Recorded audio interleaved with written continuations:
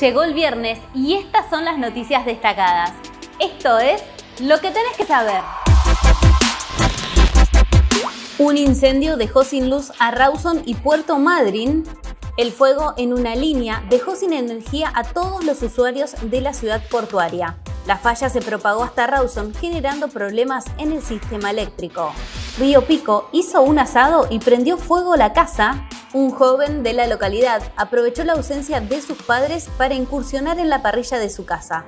Al terminar de cocinar la carne, olvidó apagar el fuego que en pocos minutos se esparció por toda la vivienda.